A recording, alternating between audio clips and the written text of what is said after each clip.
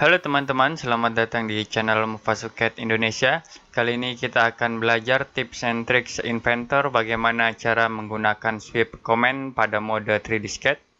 Oke, pertama saya akan membuat uh, dua buah lingkaran dengan mode 2D sketch. Kalian klik di sini start 2D sketch, kemudian pilih plan ini. Saya akan membuat uh, dua lingkaran di sini. Oke, kemudian kita finish sketch. Selanjutnya kita menggambar menggunakan uh, mode 3D Sketch. Dan pertama Anda klik ke Include Geometry dan seleksi kedua circle ini, lingkaran ini. Selanjutnya saya akan membuat objek spline sebagai pad.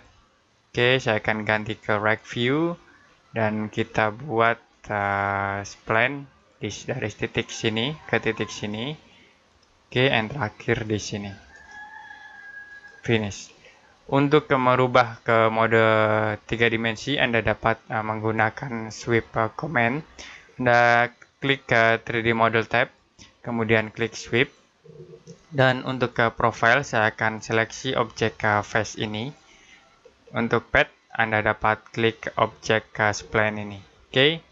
hasilnya nanti akan seperti ini. Anda klik OK, dan kita telah uh, melakukan ekstrusi uh, pada objek uh, lingkaran menggunakan mode 3D Sketch. Oke, cukup sekian untuk uh, tips and tricks Inventor bagaimana cara menggunakan sweep command di mode 3D Sketch. Jika Anda memiliki pertanyaan tentang tutorial ini, Anda dapat komentar di bawah video. Dan sampai ketemu di tips and tricks Inventor selanjutnya.